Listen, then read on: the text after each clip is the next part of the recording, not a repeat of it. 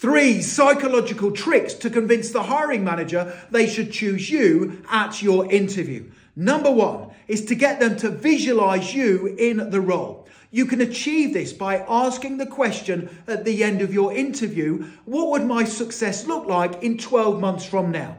Number two is to make sure you wear the colour blue for your interview. It has been scientifically proven that the colour blue represents trust and loyalty. And number three, tell the hiring manager you have researched their company. 95% of candidates carry out no research whatsoever because they are only interested in a paycheck. If you can be part of the 5% who have researched the company, you are far more likely to get hired.